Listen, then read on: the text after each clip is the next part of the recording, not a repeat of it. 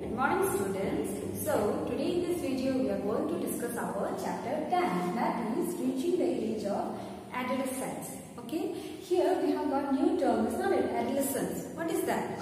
So in this chapter we are going to about that only. Okay. Now you see what happened. A human being is capable of reproducing only after reaching a particular age. Okay. And that age is called what? Adolescence. You see our childhood starts from 0 to 11 year. Okay. Adolescence 11 to 19 years. Okay. So here after adolescence what comes? Adulthood. Okay. The period between the childhood and the adulthood is termed as adolescence. Okay. So during this adolescence, okay, several changes takes place in our body.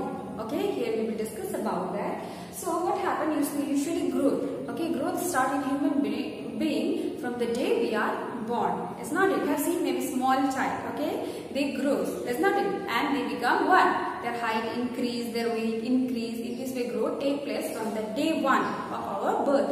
But as soon as we enter this adolescence age, several changes takes place in our body. Okay, and the changes that takes place in our body is the starting of puberty. Okay, it is the onset of puberty. This puberty comes under this adolescence. Okay, changes that takes place in our body is the onset of puberty. And when the puberty start, okay, the first one is when the puberty start. Okay, a person is capable of reproduction. Understood? And this puberty ends when the reproductive part become matures. Okay, this puberty comes under this adolescence stage only. Okay, the puberty starts when our body starts changing and it will end. Okay, it will get end when our reproductive parts are mature, fully mature. Okay. So now we will discuss what are the changes that takes place in our body as we enter puberty.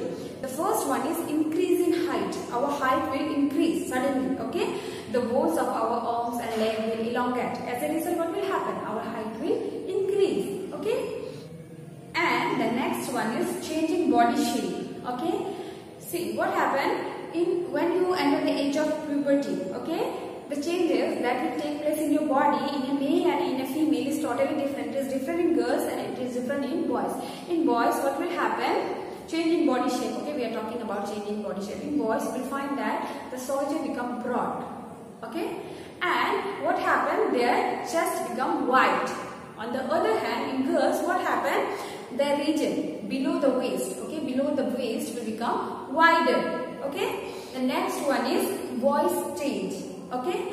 In boys usually the voice box or larynx begins to grow okay? In boys you can see an object that is protruding outside the thorax okay? That is what? Also known as voice box. And that is the reason why boys usually have what? This deep voice usually in girls you will not find a voice box bulging outside the thorax okay? And girls have what they have high pitched voice. On the other hand boys have very deep voice. That is because of that voice box. And the name of that voice box okay? The another name of that voice box is adam's apple. It is also called adam's apple okay?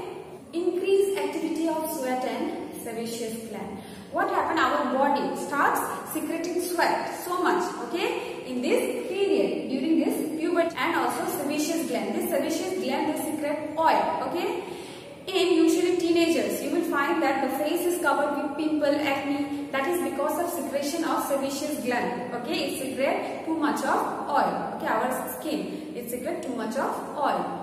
Next one is sex organ, mature, maturation of sex organ. What happened in this age? During this adolescence, what happened? Your sex organ, like testes, penis, it becomes mature. Okay, it develops completely and it starts producing sperm. On the other hand, in female, in girls, what will happen? The ovary will become enlarged. Okay, as a result, and what happened? They will produce mature ovum. Okay, this is what development of sex organ reaching mental, intellectual and emotional maturity. As you enter this adolescence period, what happens? You start thinking practically, okay? Things become practical and you become more independent okay? You can do your work by yourself okay? And you understand that you reach the emotional maturity. Means suppose someone is crying okay? When we were small we used to laugh. See that person is crying. But now at this stage what we will do? We will go and we will ask the person. We will want to know what is the reason behind that and we will say don't cry. Okay? So this is what reaching emotional maturity. Understood? Now you see now the secondary sexual characters. What is secondary sexual characters? You see these are the characters which help us to differentiate between a boy and a girl okay? What changes takes place you see? What happened in boys usually what secondary sexual character are you see? What happened there? Facial hair okay? Begins to grow okay? In girls what happened there? Uh, breast develops okay? And what happened? It can be seen in both boys and girls okay hair grows into different part of their body like armpit area above the thigh that is called pubic region. Okay? There what happened? The growth of hair can be seen. And in boys what happened? The hair grows in the chest region also. Okay? So these are what secondary sexual character. After suppose a boy and a girl is standing. How you will identify? A boy will have what? Beard, mustache is not it. On the other hand, a girl will have what? Breast. By that we can identify that the person is a male or female. These are called what? Secondary sexual characters. Okay. Now you see the changes which is happening inside our body. What is controlling them? It is hormone. It is because of hormone. Okay. You see hormone is a chemical substance. Okay. And it is produced by endocrine glands and all the endocrine glands together they are termed as what? Endocrine system. Like we have digestive system uh, respiratory system. So likewise the system of this glands. Okay endocrine glands are termed as what? Endocrine system. Now you see some glands are ducted and some are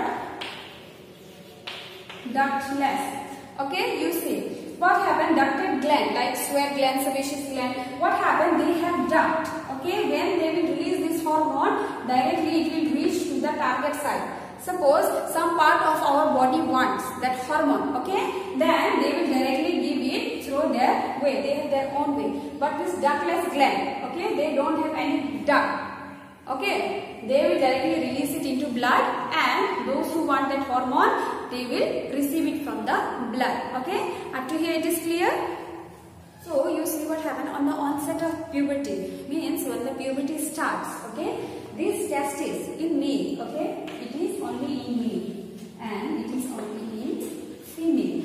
So what happened when on the onset of the puberty male in male testis okay? The testis of the male will release this hormone okay? Testosterone hormone and you know what is the function of this hormone? This testosterone hormone is responsible for all the secondary sexual character in boys like facial hair growth again hair in different part of the body okay? So who is responsible for secondary sexual character? This testosterone hormone. On the other hand when the girl reaches puberty okay the ovaries will release a hormone called estrogen. And this estrogen is responsible for secondary sexual character in females like it help in development of breast mammary glands okay and these okay these release of hormone is again controlled by pituitary gland our pituitary gland is situated in our brain okay when this pituitary gland will give command okay when this pituitary, how this pituitary gland will give command? It will release the hormone in the blood. And who will receive? In female, estrogen, uh, ovaries will male, who will receive? Testis will receive. So here, who will receive the hormone? It is the target site. Okay? Target site.